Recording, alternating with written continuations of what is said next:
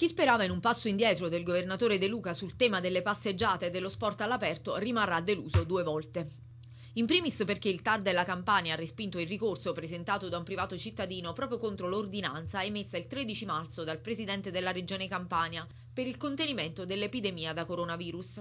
Il governatore aveva deciso di inasprire le restrizioni previste dal decreto perché preoccupato dal comportamento, da lui stesso ritenuto poco responsabile, dei cittadini della sua regione.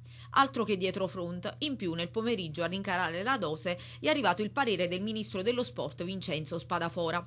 I continui spostamenti registrati in queste ore, dimostrati da un alto numero di multe, potrebbero convincere il governo a emettere nuove restrizioni. Il ministro per le politiche giovanili e lo sport Spadafora ha detto testualmente che nelle prossime ore bisognerà prendere in considerazione la possibilità di un divieto completo delle attività all'aperto.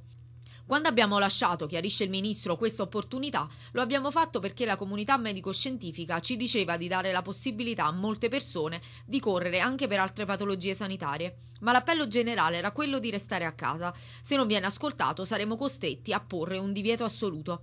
Insomma, gli sportivi campani dovranno mettersi il cuore in pace e rimandare tutto, si spera, all'estate.